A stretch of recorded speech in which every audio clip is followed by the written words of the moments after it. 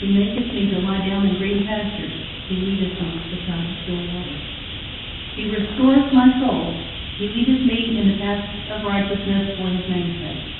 Yea, though I walk through the valley of the shadow of death, I will fear no evil. For thou art with me. Thy rod and thy staff, they comfort me. Thou preparest a table before me in the presence of my enemies. Thou anointest my head with Surely goodness and mercy shall follow me all the days of my life, and I will